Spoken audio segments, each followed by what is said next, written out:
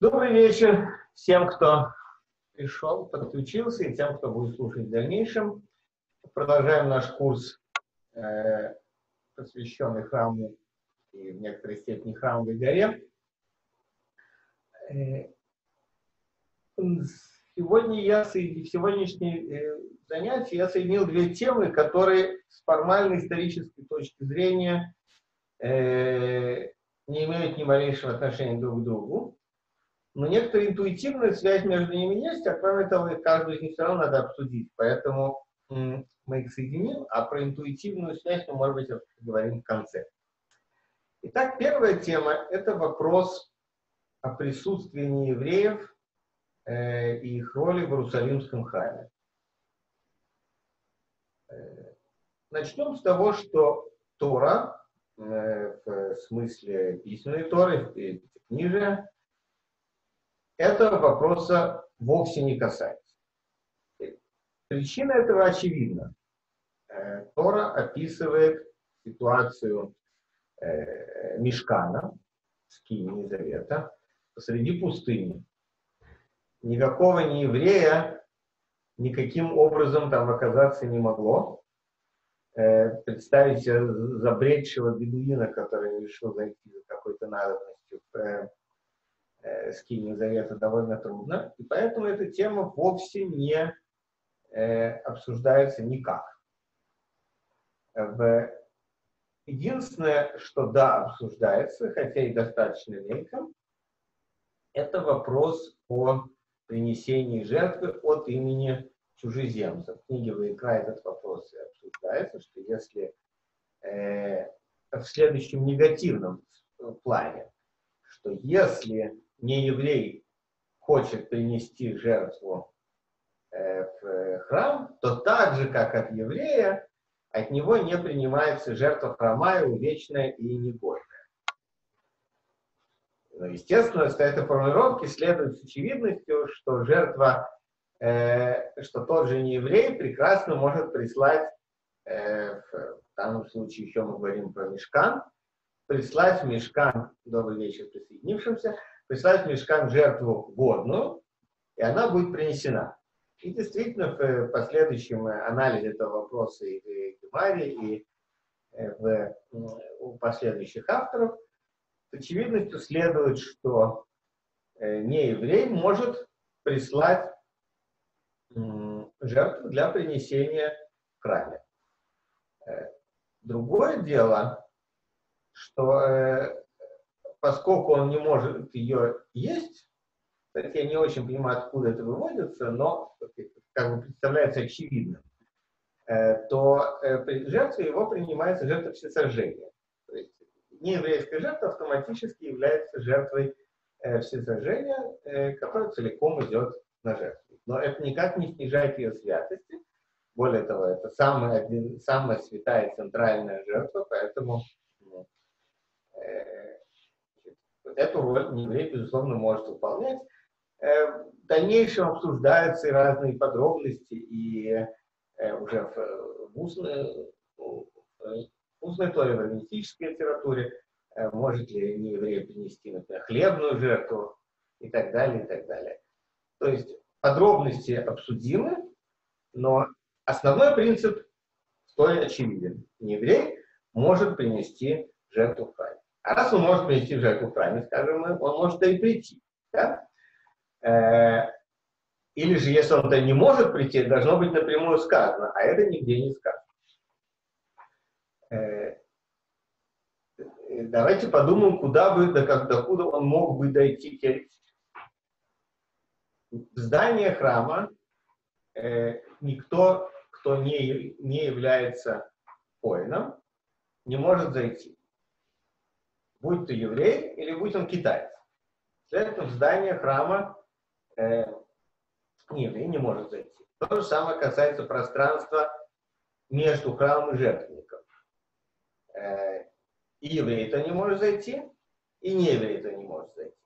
То есть вопрос возникает относительно э, следующих пространств.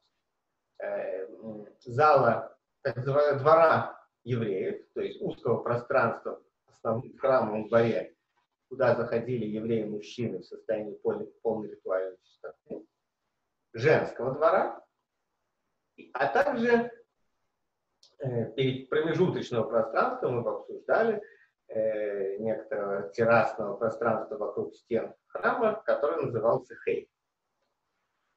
Э, во все эти три пространства мудрецы э, постановили, э, или скажем так, мудрецы это не постановляли. Нигде не считаем, что мудрецы это постановили. Мишна констатирует, что в эти три пространства вход не еврею запрещен. То есть Мишна, когда описывает 10 э, уровней святости и определяет, кто куда, как может заходить, и мы это обсуждали в самом начале, если вы помните, куда может заходить, скажем, прокаженный, никуда не может заходить, да, или э, человек нечистый той или иной чистотой, или человек полностью чистый, но, скажем, не принесший подобающих жертв. Э, то есть есть всякие критерии для, для евреев, кто куда может заходить. Так вот, в эти три пространства не еврей не может заходить. Мы нигде не видим, чтобы мудрецы постановляли запретить неевреям туда заходить. И тем не менее, и, и уж тем более мы знаем, что это не запрещено по Торе. В Торе не сказано, что евреям туда А тем не менее, им туда заходить нельзя. Если устно и письменной Торе этого не написано, а мудрецы этого не постановляли, приходится прийти к выводу, что корни этого запрета находятся посередине по времени между письменной Торой и э, эпохой наших мудрецов. Следовательно, это постановление эпохи раннего второго храма. Э, приведу еще несколько соображений, связанных с первым храмом. При строительстве первого храма царь Шлумо возносит молитву, э, не при а при освящении, в момент, когда первый храм начинает функционировать, царь Шломо произносит молитву, длинную молитву, занимающую всю восьмую главу первой книги Млахим. Появляется там и не еврей. После в ряду разных людей, которые вознесут свою молитву в храме, э, и и Шломо просит, чтобы Всевышний эту молитву услышал, появляется еврей. Чужеземца, который не из, страны, не из народа твоего, Израиля, а придет из страны далекой ради имени твоего, тут как бы скобка говорит Шломо, ибо и они услышат твоем имени великом, и твоей руке сильной, твоей мышцы простертой. То есть не евреи во всем мире узнают о величии Всевышнего и прибегут в Иерусалимский храм молиться. И придет он и будет молиться в доме этом, ты услышишь с небес, с места обитания твоего, сделай все, что, о чем будет взывать тебе чужеземец, внимание, дабы знали все народы земли имя твоего, твое, дабы боялись тебя, как народ твой, и дабы знали, что именем твоим называется дом твой, который я построил. То есть э, царь Шлумо формулирует так, что освящение имени Всевышнего э, прославление имени Всевышнего во всем мире подразумевает, что не еврей, который пришел э, в храм и вознес молитву, его молитва должна, он просит, чтобы она была услышана. Э, с этого мы понимаем, что еврей может прийти в дом и вознести молитву. Ну, естественно, когда мы говорим в дом, имеется в виду во двор, как мы уже сказали, в само здание храма не входили, в том числе евреи тоже. Следовательно, в какой-то степени во двор э, евреи могли заходить. Когда э, э, царь Шломо принимает царицу Савскую, Катшева, она, э, одна из вещей, которая ее восхищает, она видит, как царь идет в храм, из, из дворца в храм, то есть он пересекает храм двор, идет по направлению к храму, она это видит, то есть она где-то здесь находится рядом. Ну, тут, конечно, можно занудствовать и сказать, что она могла стоять там чуть в стороне, но Э, в общем, скорее можно понять, что она находилась там же, где царь Шломо, а уж из э, последующей литературы, э, такой э, апокрифической, скажем так, э, уже там развивается эта мысль все больше, эта картина, как э, царь Шломо заводит царицу именно в здание, которое вроде бы представляется храмом, оно все больше получает дальнейшее развитие. Ну и, наконец, все знают э, пророка Ишаяу, который э, сказал знаменитую фразу, что дом твой, дом молитвы наречется для всех народов. Э, следовательно, и тут он же говорит не о настоящем, когда он, где он стоит, пророк Ишияу в э, конце эпохи первого храма, а он смотрит в будущее, и в будущем он говорит, э, все народы будут приходить молиться э, в этот храм. Ну, у Ишаяу есть еще несколько интересных э, линий, показывающих, в частности, вот это место, которое все мы поем очень красиво в, Йом, в конце Йом, молитвы э, Йом-Кипура, сейчас я не, не приготовил этого стиха, но не хочу переврать стиха, но смысл его состоит в том, что э, смысл этих набора стихов, что некие люди, боящиеся Всевышнего, э, спрашивают пророка, а что же наша жертва не будет негодная? Он говорит, нет, нет, нет, и ваши жертвы тоже будут приняты, э, э, приняты с радостью Всевышним, там идут споры комментаторов, о ком идет речь. Мне кажется, что простое прочтение этого места говорит о э, боящихся, неевреев, боящихся Всевышнего из числа неевреев. Можно слегка изнасиловав текст сказать, что речь идет о герах, э, как делают такие более ортодоксальные комментаторы, но мне кажется, что это насилие над текстом, но не будем об этом спорить. Так или иначе, в первом храме э, те, кто говорят о присутствии неевреев, э, приходе неевреев в храм, видят это как явление только положительное. Э, и царь Шломо, и пророк Ишияу не могут себе представить ситуации, при которой нееврей э, пришел в храм, и он, его не есть они, видимо, находятся в той точке, где это явление крайне редкое, то есть мы не видим в описаниях первого храма каких-то массовых явлений, чтобы люди, не евреи, приходили в храм, но уж если они пришли, их должны приветствовать. Итак, в какой-то момент э, возникает, э, мы видим, что в первом храме, первый храм более-менее открыт для присутствия евреев, в, втором, в конце второго храма мы видим довольно четкое определение границ, докуда э, неевреям можно идти.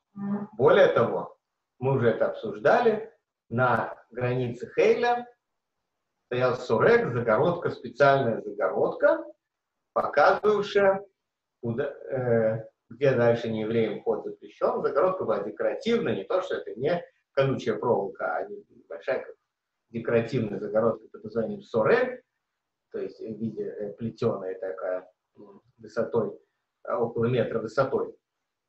Но Э, на ней которой висели каменные таблички с надписью по-гречески по латыни, запрещавшие вход э, неевреям через проход, что запрещающие неевреям пройти через эту границу. И, как я уже говорил, таблички эти, полторы такие таблички э, греческие сохранились. Одна целая в Стамбульском музее можно посмотреть, а другую более ну, хуже сохранившуюся в Иерусалимском музее Израиля. Какой же момент это возникло? Э, одно, э,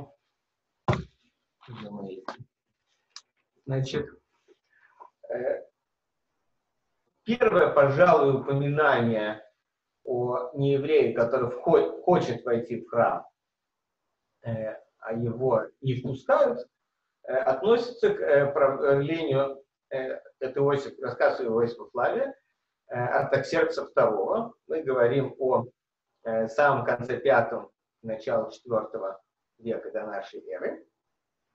И э, Флавий пишет так. Когда умер первосвященник Ильяшив, то сын Иуда стал его преемником, а потом э, первосвященство перешло к его сыну Иоанну, Иоханану. Благодаря последнему военачальник Артаксеркса осквернил храм э, и, за, и еще заставил евреев платить специальный налог, я сокращаю немножко, при принесении каждой жертвы. Причиной это послужило следующее обстоятельство. У был брат Яшуа. Э, будучи в дружеских отношениях с этим последним, с Яшуа, э, Бабой был начальник, то есть некий крупный очень чин персидской армии, обещал помочь ему стать первосвященником. И, полагаясь на это обещание, Иошуа затеял прямо в храме ссору со своим братом Иоанном. Иоанн рассердился и в гневе своем убил Иошуа. Э, это было, тут уже замечает Флавий, со стороны Иоанна гнусным преступлением. Особенно же вследствие того, что убитый был его брат. И ни у греков, ни у варваров никогда не совершалось подобного гнусного преступления. Ну, тут уже Флавий преувеличил. Никогда такого не бывало. Э, бывало, но не важно. Э, и э, Богой, узнав об этом событии, напал, налег на иудеев и гневно закричал, так вы дерзнули совершить смертоубийство в вашем храме и потребовал войти в храм. И когда он пытается войти в храм, евреи оказывают ему сопротивление. А на это сопротивление Богой говорит, разве я не чище, чем убийца? Э, то есть убийцу, что вы как бы вот там находился, а как-то вы, это вам не мешало. Теперь я хочу, я, не, я никого не убивал, вся моя вина в том, что я перс, вы меня не пускаете. Действительно, это, ну, во-первых, евреям, видимо, нечего было ответить, а кроме того, довольно трудно спорить с э, персидским военачальником вооруженным. Он ворвался в храм, он был в храме, и э, затем он наложил специальный налог с наказания на многие годы, наказал специальный налог. Евреи должны были за каждую жертву, которую приносили в храме, платить специальную сумму в персидскую казну. Э, казалось бы, мы уже видим доказательства того, что э, евреев не впускают. Однако же нигде не сказано, куда именно хотел войти первосвященник. Совершенно не исключено, поскольку он хотел пройти туда, где был перед этим два коина разговаривали, скажем так, разговаривали, поссорились и один другого убил, то э, вполне можно предположить, что он захотел зайти во внутреннюю часть храма, внутреннюю часть храмового двора или даже в само храмовое здание. А в таком случае негодование евреев по этим обстоятельствам, э, оно никак не связано с этим запретом на вход неевреев, корни которого мы пытаемся найти.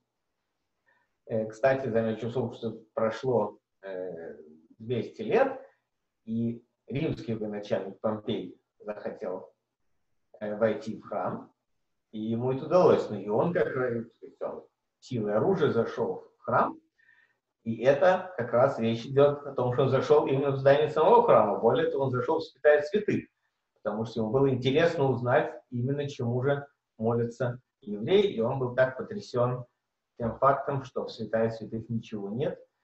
Э, это осталось э, зафиксировано в нескольких римских историях. Э, так что можно поставить некоторый знак вопроса относительно этой истории, относящейся к персидскому периоду. В следующий раз эта тема появляется тоже у Иосифа Флавия уже эпоху эллинистическую, э, а именно в период войны царя Антиоха. Это мы говорим царь, который правил с 220 по, 1000, по 186 год до нашей эры, то есть где-то около 200 года до нашей эры происходит война, э, в, которой, в ходе которой войны Антиох заходит страну иудеев, а иудеи принимают его дружественно. И он э, дает эдикт, в котором всяческие блага э, обещает э, евреям. В частности, он им освобождает коинов от платы налогов, он помогает им строительными материалами для строительства храма и так далее, и так далее, и так далее. А после того, как все это письмо Э, Флавий приводит, добавляется еще одно. Затем царь издал, пишет Флавий, желая выделить святилище, распоряжение по всей стране, в том смысле, что ни одному иноземцу не позволено вступать в отделение святилища, которое закрыто для иудеев, исключая тех из последних, которые на это посвящены и которым это разрешается местными законами. То есть из текста Иосифа Флавия можно понять, что именно царь Антиох возвел запрет для входа неевреев в храм в ранг э, закона. Закона в данном случае государства. Понятно, что он его не придумал. Понятно, что не то, что Антиоху своей какой-то э, надобности захотелось не пускать евреев в храм. Очевидно, что речь идет о просьбе со стороны евреев, которую Антиох решил удовлетворить. Следовательно, э, евреи было представление о том, что евреев, что э, не евреев в храм пускать не следует. Э, и мы опять возвращаемся к тому, что мы не понимаем, в какой момент этот запрет был введен. Мы только понимаем, что он уходит в глубину персидской эпохи, то есть эпохи раннего второго храма. До сюда исторические факты, добавлю догадку свою. Догадка моя состоит в том, что я, э, я предполагаю, что это восходит к периоду борьбы между э, вернувшимися из Вавилона евреями и самаритянами. Самаритяне хотели участвовать в строительстве храма. Э, евреи э, запретили им это делать, сказали, что вы к этому храму не имеете никакого отношения, это наш еврейский храм, и мы его строим. И действительно не, не допустили. После чего самаритяне всячески пытались мешать строительству этого храма, и военной силой, и еще больше кляузами в адрес э, персидского э, правительства. Как, известно, после многолетних задержек э, их сопротивление было преодолено, и храм был построен. Поэтому я предполагаю, хотя и никак не могу этого доказать на данный момент, что э, запрет для неевреев входить в наружные части храмового двора возник в момент этой борьбы, когда самаритяне пытались сказать, что это вот наш общий храм Всевышнему, а евреи настаивали на разделении. И так же, как тогда были при, приняты жесткие меры к тому, чтобы у евреев не было нееврейских жен, как вы помните, Эсра этим занимался, изгнанием нееврейских жен, то э, где-то и в тот момент э, мы должны понимать, что возник обычай, запрещающий евреям входить в наружные части храмового комплекса э, внутрь от Сурега, который, кстати, еще интересный вопрос, когда возник Сурег. Ведь Сурега тоже нигде про него не написано, да, кто его, Торы нам не повелевает строить Сурег. Это тоже некоторое установление э, кого-то. Э, из некоторых намеков я склонен э, считать, что э, строительство Сарега, я еще не буду тратить времени почему, но оно, что оно восходит к Шимону праведнику, Шимону Цадику, человеку, который последним, первосвященнику, который считается последним из людей Великого Собрания и первым из мудрецов как бы, вот, эпохи. Это речь идет о э, границе между персидским и греческим владычеством в стране Израиля. Я так предполагаю, что именно он построил Сурек, и где тут в этот момент и возникает идея э, запрета э, на вход неевреев в храм. В дальнейшем эта идея обостряется, становится очень важной темой, именно потому что неевреи силой пытаются зайти в храм, и, ну и когда евреи что-то силой делают, то евреи, естественно, э, как это все заложено в нашу религию изначально, как если не евреи пытаются силой заставить, чтобы что-то произошло, то евреи оказывают сопротивление. Даже если это сначала вещь была, казалось бы, не такой важной, как вы помните, известная Аллаха, что вообще-то нужно Э, жертвовать своей жизнью только ради трех заповедей, но если это происходит в момент религиозных гонений, то надо жертвовать своей жизнью за все, что угодно, включая цвет шнурков на. И вот именно эта идеология заставляет поднять, в дальнейшем поднять тему недопуска э, неевреев э, в храмовый комплекс на уровень важнейшей религиозной ценности, э, когда греки пытаются всячески зайти в храм, они заходят в храм, они скверняют храм, наконец Маковеи изгоняют греков из храма, и факт, что они изгнали греков из храма, превращается в акт религиозной победы, поэтому, естественно, после этого тем более не допускается, э, чтобы не, не евреи заходили внутрь. Э, и дальше э, римская власть подтверждает это их право, и, и евреев не допускать никого другого внутрь. Это мы знаем из уже момента разрушения храма. Флавий описывает, что Тит, разрушитель храма, римский военачальник, обращается с речью к евреям который там на стене, он им кричит, я же вам негодным все позволял. Мы, мы, римляне, даже разрешили вам убивать тех, кто не евреев, которые идут внутрь. То есть запрет, с точки зрения римских властей, э, евреи могли казнить смертью, хотя у евреев в этот момент уже не было права смертной казни, но римляне понимали, как бы относились к пониманию тому факту, что некоторая внесудебная расправа ждала каждого гоя, который зайдет в внутреннюю часть храмового комплекса, внутрь Оцере. Э, в результате это сейчас функциони...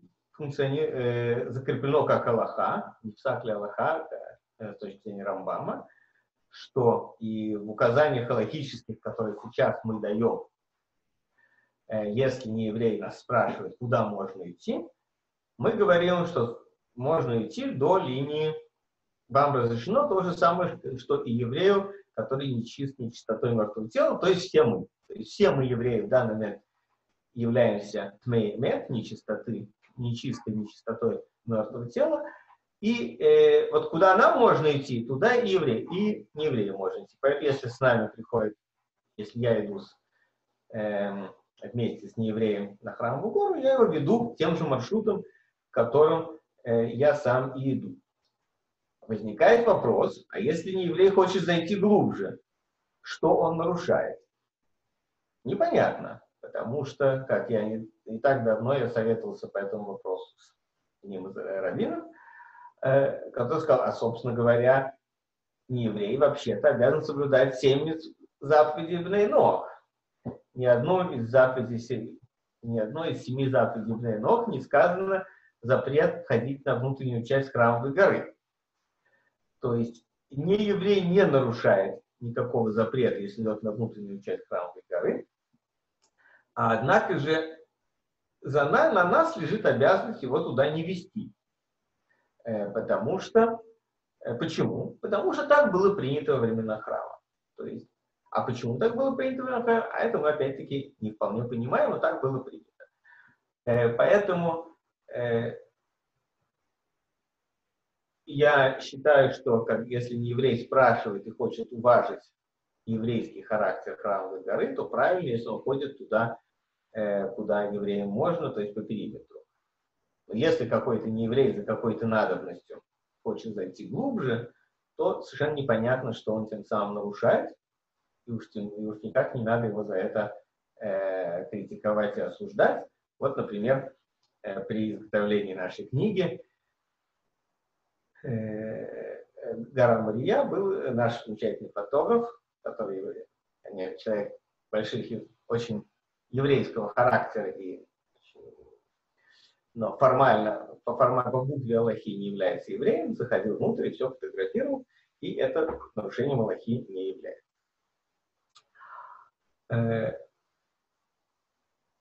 Должен ли нееврей соблюдать те требования, которые, эм, а другие требования по отношению к э, при посещении храмовой горы, которые выдвигаются к евреям?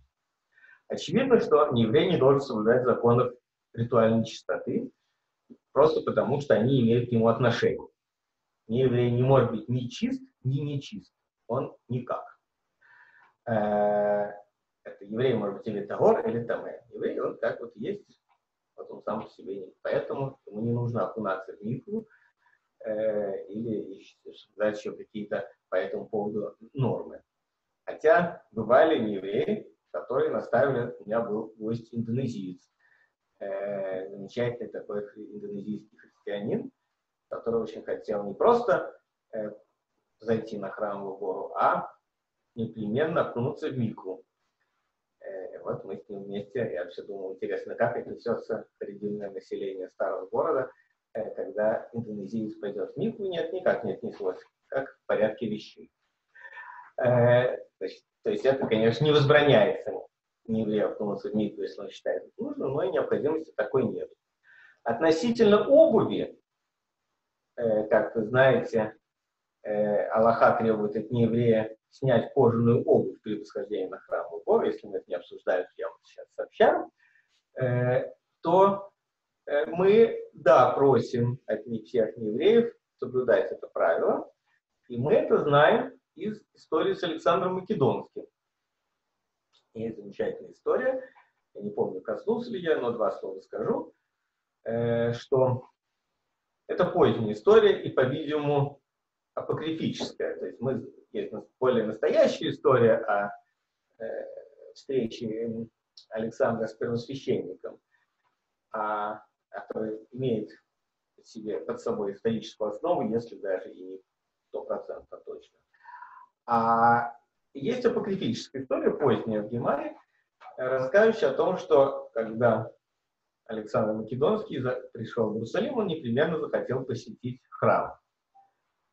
А, естественно, Александр Македонский идет в сандалиях, как ходит э, царь. Э, греческие цари ходили в сандалиях, в кожаных.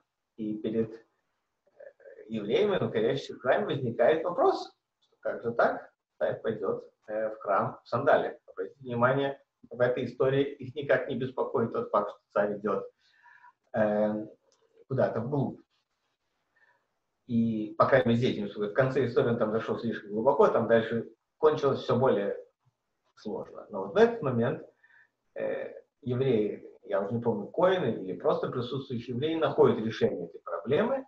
Они дарят э, царю войлочные тапочки, украшенные драгоценными камнями, бриллиантами, изумрудами, что чем. Естественно, царь, получив такое э, приношение, с удовольствием его обувается. наверное, э, павший, пав Ниц, э, евреи приносят царю эти тапочки, украшенные драгоценностями, он их примеряет и с удовольствием в них идет. Из этой истории мы понимаем, что, по крайней мере, с точки зрения э, мудрецов Гемары, э, не еврей также обязан снять кожаную обувь при заходе на храмовую гору, как и еврей. Хотя, опять же, Э, корни этого обычая не, э, не вполне ясны. Это корни это аллахистского, это не, не обычай, это аллаха, обязывающая, э, аллаха Мишны, обязывающая всех евреев снимать кожаную обувь, хотя корни ее проследить довольно сложно. Это вот что касается евреев и посещения, и не евреев и посещения храм, храма в прошлом и храма горы в нынешнем, в настоящем. Перейдем к другой теме, которая, как я сказал, э, не связана напрямую, хотя э, интуитивная связь есть, и она состоит в том, что это зеркальное отражение э, предыдущей темы. В тот момент, когда мусульмане становятся правителями храмовой горы, в тот момент, когда они решают, где на храмовой горе место исламской молитвы, а где место для всех остальных, э, то возникает вопрос о допущении всех остальных на храмовую гору. Так вот, ответ очень простой. Первые века исламского владычества этот вопрос не стоял. Очевидно, и этому есть бесчисленное количество свидетельств, что и евреи, и христиане могли посещать храм в гору, мечети, золотой купол, мечеть Лякса, любое место. Другое дело, что место торжественной, общественной еврейской молитвы, которая в начале, первые десятилетия, или, может быть, первые годы мусульманского владычества была непосредственно вокруг места храма, и место храма, вокруг святая святых, оно потом вытесняется на периферию, как мы об этом говорили, периферию храма. Но идея о том, чтобы не пускать кого-то, будь то христиане или евреи, на храмовую гору, у мусульман в первые века не возникает.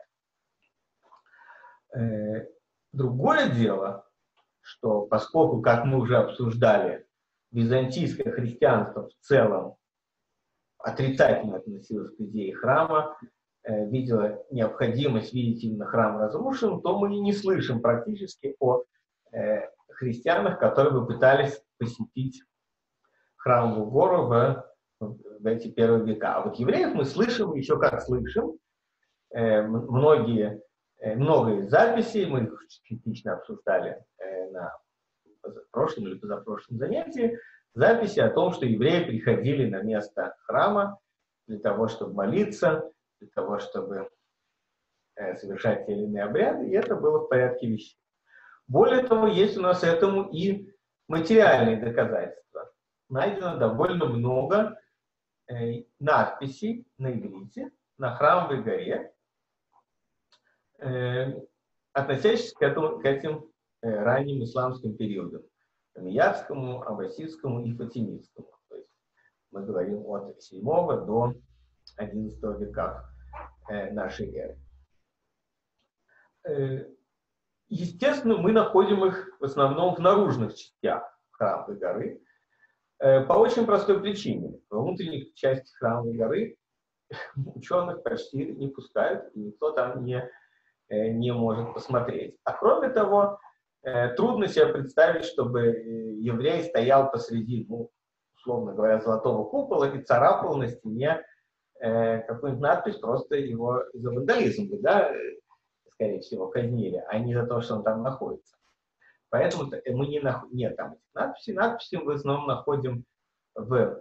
Есть надпись в подземельях под э, мечети Иляксы. Эта надпись была найдена в 19 веке э, французским археологом э, и переписана. К сожалению, мы не знаем, сохранилась ли. То есть мы знаем, что ее сейчас не видно, но мы надеемся, что ее только, она только закрашена, где-то под краской имеется а может быть и стерта. Но в любом случае он ее тщательно скопировал, и мы знаем, что и там пишут евреи э, из Сицилии, э, что он с женой побывал э, здесь, и не очень понятна эта фраза, то ли он выздоровел, то ли он хочет выздороветь. То есть то ли это надпись благодарственная, что вот он совершил паломничество честь того, что он выздоровел, или же это молитвенная надпись, что он хочет чтобы он выздоровел, или его жена выздоровела, и по этому поводу они совершили паломничество, но в любом случае такая еврейская надпись найдена.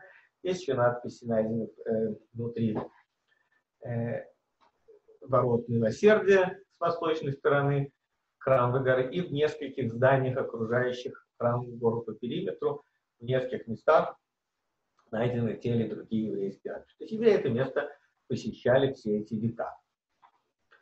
А христиане не посещали просто потому, что не хотели. Единственный, по-моему, христианин, которого мы знаем, что он посетил храмовую гору, это Аркульф, епископ Аркульф, Франк, э, который в начале 7 или точнее в середине 7 века посетил Иерусалим и оставил свои записки, которые потом были переписаны в разные, э, в нескольких, некоторые манускрипты того времени, в частности, в истории беды достопочтенного э, английского э, историка, и он э, описывает э, храмовую гору и описывает, кстати, мечеть, которая стала, в дальнейшем стала мечетью Илякса, первую мечеть, которую построил там Амар. То есть вот мы знаем, что он посетил, и никаких препятствий не, не упоминает, что кто бы то ни было чинил ему препятствий, спокойно ее э, посещает храмовую гору. Э, более того, в период крестоносцев, значит, с, как мы уже упоминали, крестоносцы, захватив Иерусалим, первым делом всех перебили. Они убили и всех мусульман, которые попались ему под руку, и всех евреев, которые попали под руку. То есть э, вопрос посещ... впускать или не впускать не стоял, все были мертвы. В дальнейшем э, франкские короли установили закон, согласно которому жить в Иерусалиме могли только христиане. То есть ни мусульман, ни еврей не мог жить в Иерусалиме. Хотя мы знаем, что по факту евреи в Иерусалиме жили в христианскую эпоху, хотя они были довольно малочисленны. Э, однако же запрет был на проживание в Иерусалиме, но не на посещение Иерусалима. И мусульмане, и евреи могли посещать Иерусалим, они могли приходить в Иерусалим как по торговой надобности, э, или в качестве посольства, э, так и в качестве паломничества. И в крестоносскую эпоху и евреи, и мусульмане приходили палом, в качестве паломничества в Иерусалим и заходили, э, по-видимому, могли зайти на храмовую гору. Относительно мусульман у нас есть э, свидетельства христианских летописцев, которые описывают, э, в части Иоганна из Вюрсберга, описывает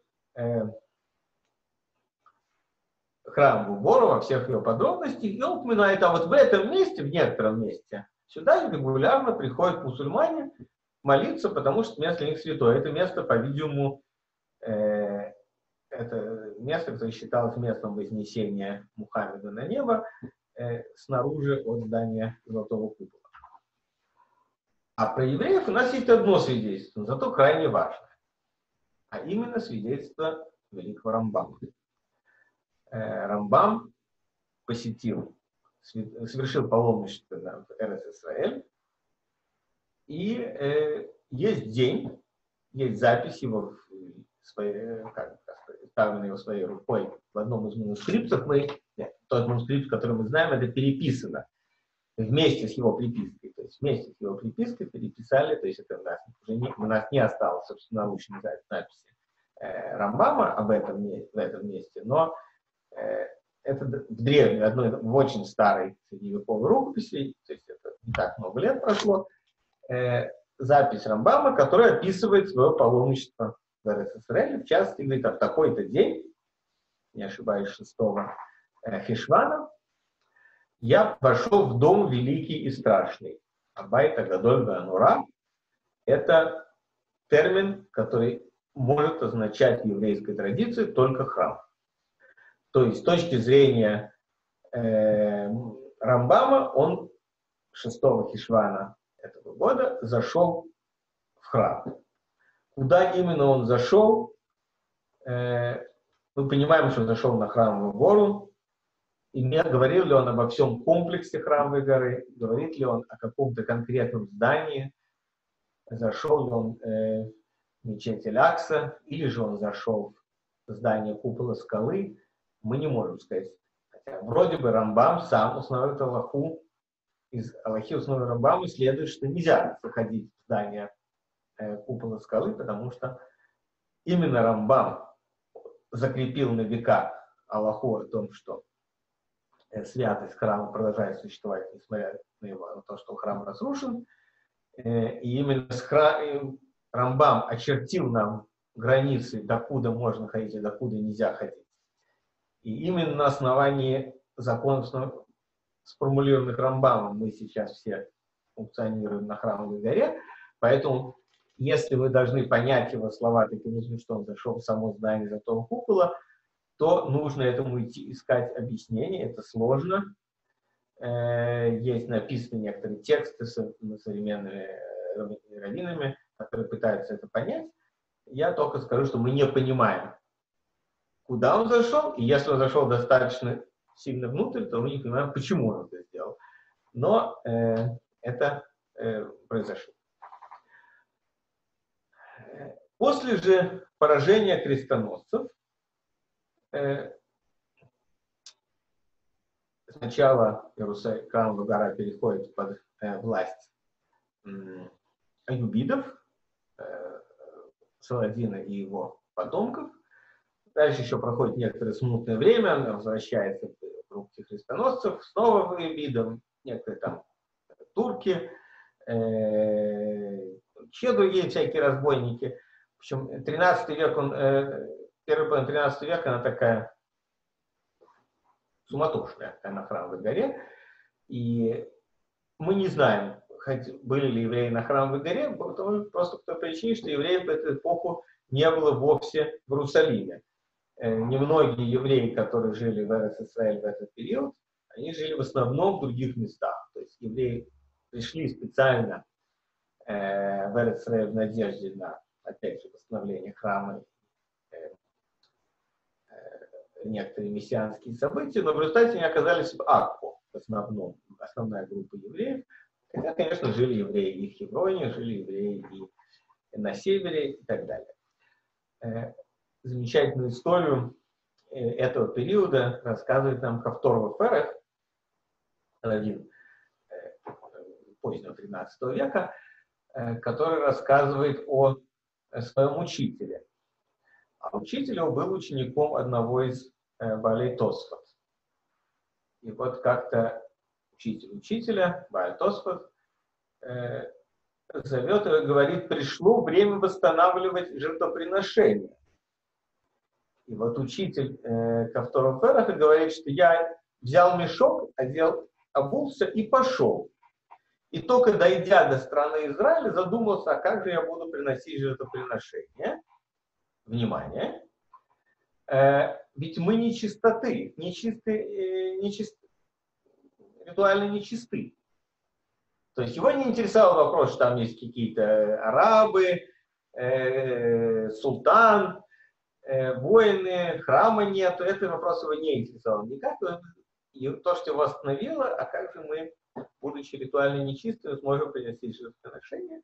И он задумался, а потом вспомнил, вспомнил Лаху, что когда весь народ нечист, то можно приносить жертвы в состоянии ритуальной нечистоты. Он этому оправдался и пошел дальше дошел до Иерусалима, по сути, по всему все-таки жертв принести не смог. Но, то есть мы знаем, что евреи в этот момент думали об этом, думали о том, чтобы прийти в Иерусалим, э, после того, как крестоносцы их туда не пускали. Но по факту их там, по-видимому, не было, просто той простой причине, что там вообще почти никого не было.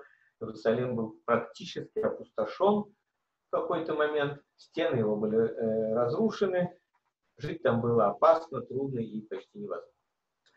Однако же в конце 13 века, второй половине 13 века власть над Иерусалимом и над всей страной Израиля занимают мамлюки. Мамлюки навели порядок в стране. Э, войны прекратились, разбой прекратился, стало можно жить в стране. И одним из факт проявления того, что стало жить можно в стране, в стране стали возвращаться евреи. В частности, Рамбан, э, Бен Нахман, Нахманит, Э, совершает именно в эти мамлюкские годы Алию в страну Израиля и восстанавливает еврейскую общину в Иерусалиме, создав, воссоздав первую после очень многих лет перерыва синагогу э, в Иерусалиме. То есть евреи значит, появляются в Иерусалиме, и вот тут-то возникает запрет входить на храмовую гору. У нас не сохранилось это эдикта, которым э, мамлюкские правители запретили э, не мусульманам заходить на храмовую гору. У нас мы знаем текст дикта, который султан Бейбарс при, принес два года позже относительно э, Марата Махпилы, пещеры э, працев э, в Хевроне. Султан Бейбарс, будучи в Хевроне, увидел могилу правцев и издал эдикт. А сюда ни евреям, ни христианам входить нельзя.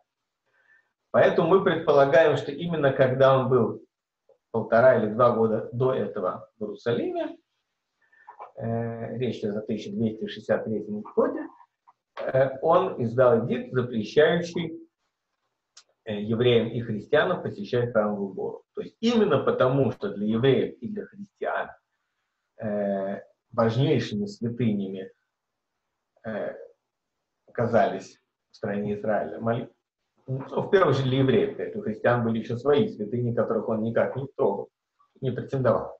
А в первую очередь евреев, ну также и христиан. То есть то, что объединяет евреев и христиан, это желание зайти на храмовую гору и посетить могилу праотцев в Хевроне. Вот эти две вещи султан запретил. Более того, султан ввел должность Э, которая была очень высокой, должность надзирателя над э, двумя святынями. Вот эти две святыни э, э, был специальный человек, он назывался Назир. Назир. Э, никак не связан с Назиром в Торе, а это должность надзиратель, человек, функция которого следить, чтобы на храмовую гору и в пещеру працев никто не ходил. Но физически он находился, этот надзиратель, именно в Иерусалиме, именно следил на храмовой горой, хотя отвечал также и за Хеврон. Э, офисом этого надзирателя э, располагался у ворот, которые с тех пор стали называться воротами надзирателя. Ворота э, Бабель-Назир – это ворота, одни из севера, э, в северном конце западной стены храмовой горы. Э, к ним и сейчас невозможно подойти, потому что там находятся э, офисы ВАКФа, и полиция не подпускает евреев снаружи к этому месту, боясь, видимо, какого-то конфликта. То есть, если вы, будучи евреем, пытаетесь подойти к этим воротам снаружи, это не удастся, поэтому это единственные ворота, которые нам не удалось сфотографировать снаружи, когда мы готовили нашу книгу к изданию. Э, почему именно там э, располагался этот офис, нигде не написано.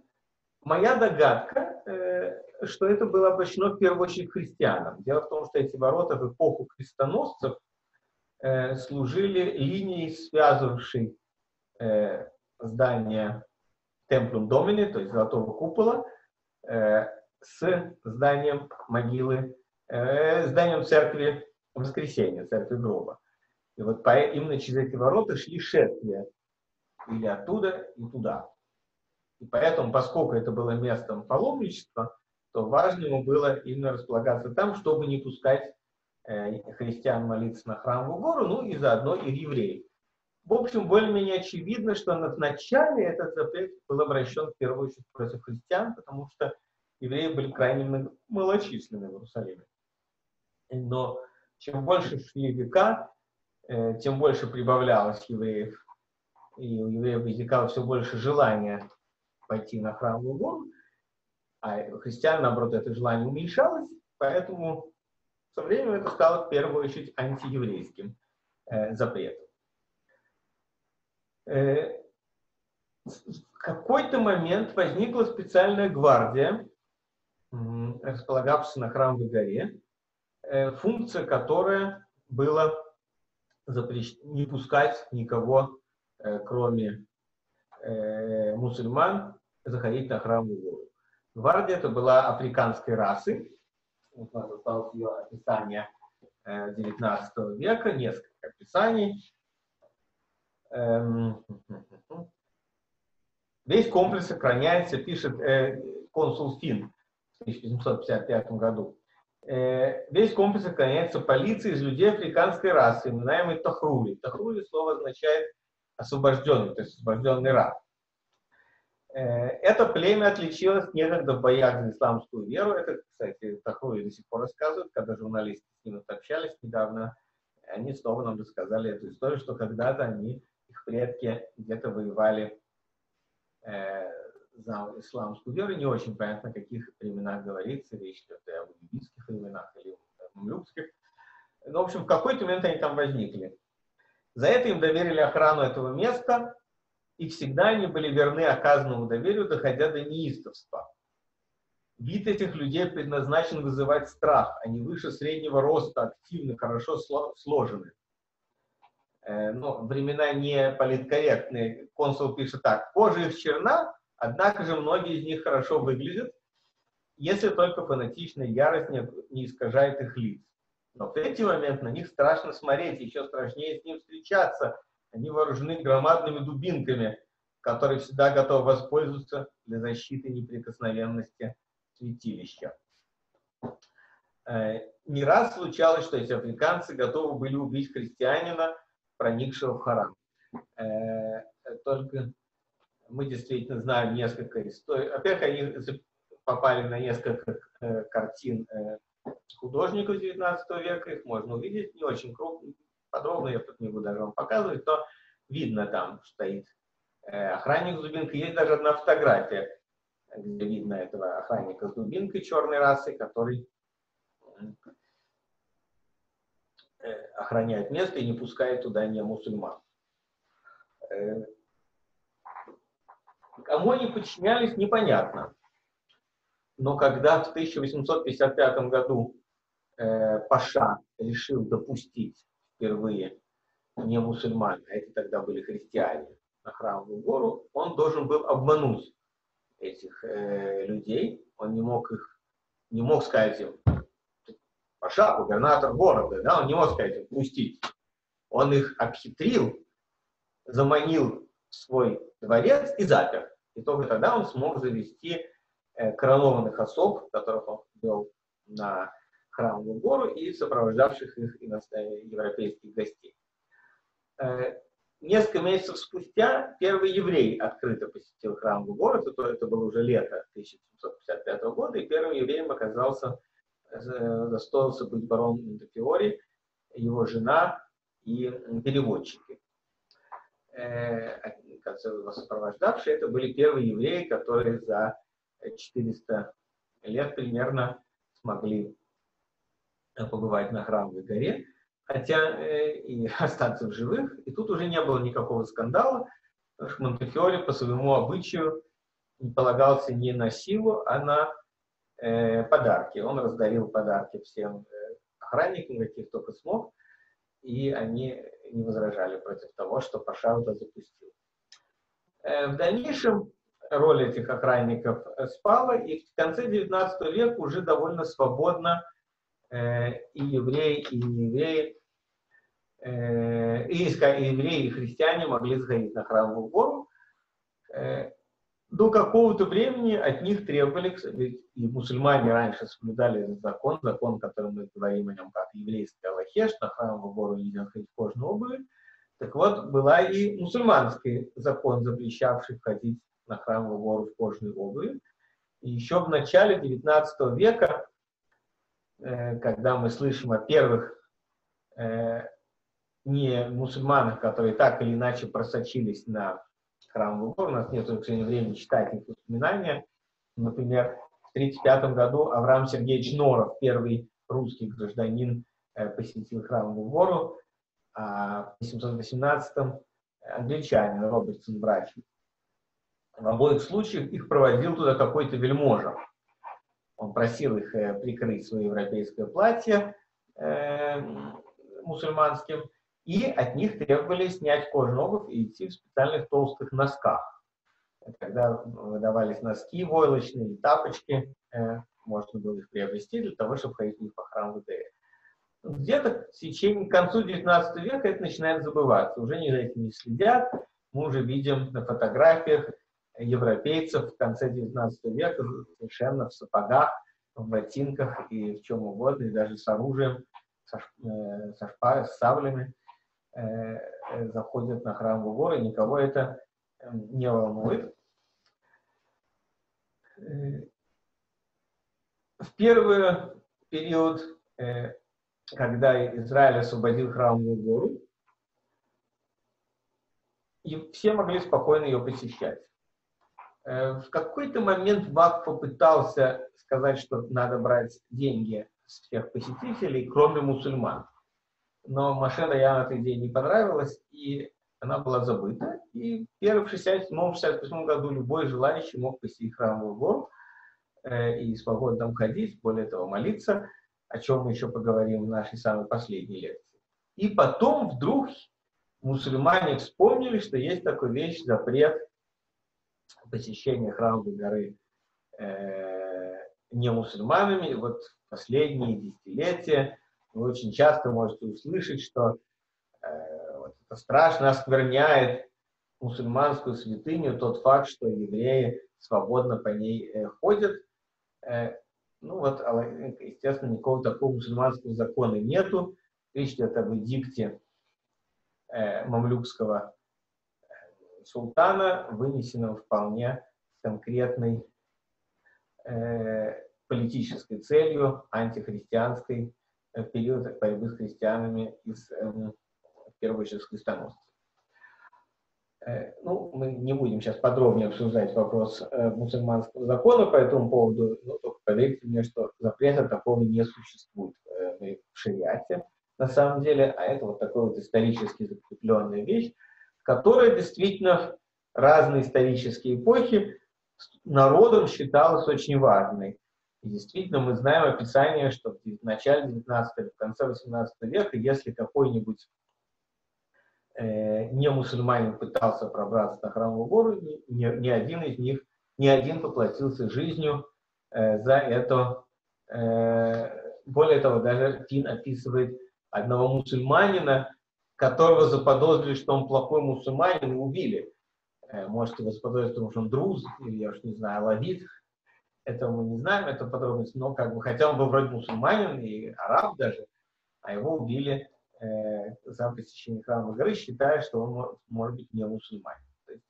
Это некая народная вот такая вот э, идея, э, которая распространилась, и теперь вот с ней приходится э, иметь дело, и вот эти конфликты, которые возникают по этому поводу при посещении евреями храмовой горы. Но а современности мы посвятим наш последний урок через один, и мы там эту тему подробнее обсудим. Э, а, э, ну, к сожалению, больше уже подробностей нет. Я вам только расскажу, что для, есть несколько подробных описаний того, как э, разные немусульмане пытались пробраться на храмовую гору. Часть из них приведены в нашей книге «Гора Мария» в конце, э, в части описания э, рыцаря, который смог пробраться на храмовую гору в 15 веке. Э, нет, рыцарь не попал в книгу, прошу прощения.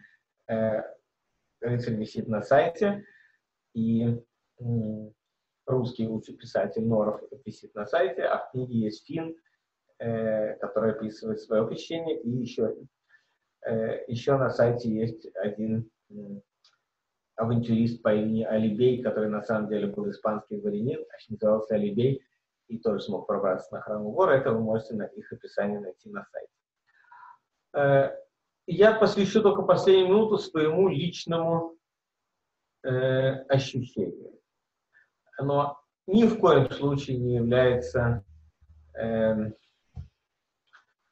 оно не, не, не историческим фактом, не мнением э, каким-либо еврейской религии или каких-то авторитетов. Это моя личная мысль. Мне кажется, что, еще раз, что в то время как изначально в первом храме, его изначальной форме существования не было никакого запрета на Э, на присутствие неевреев. И запрет на присутствие неевреев возник исторически в процессе борьбы с самаритянами. Возник неизбежно. Нельзя сказать, что есть какая-то вина э, евреев, но все-таки э, тот факт, что этот запрет возник, отодвинул выполнение э, пророческой идеи о том, что храм может быть местом молитвы для всех народов в будущие времена. И э, меда кенегет меда, э, евреи тысяч, столетиями страдали от того, что э, мусульмане не пускали их самих э, молиться на э, храмовую гору. Сейчас ситуация меняется благодаря реально евреи уже могут молиться на храмовой горе, хотя еще очень ущемлены, очень ограничены, нельзя даже сравнить положение евреев э, на храмовой горе с положением арабов, которые там являются властителями, а мы, евреи, к сожалению, еще являемся гостями. И, но все-таки мы можем молиться, если тихонько, без шума, без скандала. И христиане тоже это делают, я знаю большое количество лично своих моих христианских друзей, которые, э, поднимаясь на храмовую гору, тихонько молятся, хотя вроде бы запрещено. Э, то есть вот эта проблема, возникшая когда-то вот перед второго храма, начинает исправляться. И я не теряю надежды, что мы приближаемся к тем будущим э, светлым временам, когда всякий человек будет приходить на храмовую гору, э, понимая, что это место храма, место установлено Давидом и Шломо, и молиться там Всевышнему. Вот. На этой надежде я заканчиваю сегодняшний урок. Сейчас может задать вопросы. Я обращаю ваше внимание, что следующий э, урок не состоится, поскольку это Пурим. И боюсь, что и лектор, и слушатели будут в плохой форме. Э, так что будем веселиться. Счастливо всем Пурима. А после Пурима встретимся снова. Тема э, следующего, предпоследнего занятия – это определение, вопрос, как же мы, откуда мы знаем, где именно стоял храм, где стояли те или иные части и какие споры по этому поводу имеются э, среди э, разных авторитетов. А пока что всем как будем самых. Если есть вопросы, буду рад. Окей, okay, тогда мы за всем кончаем. Значит, э, следующего занятия, как сказал Мир, не будет по случаю э, Пурима и всеобщего как бы опьянения. А тогда через неделю, с Божьей помощью, встретимся в трезвом состоянии и продолжим. Окей? Хорошо. Всем счастливо и до свидания. Мир, спасибо.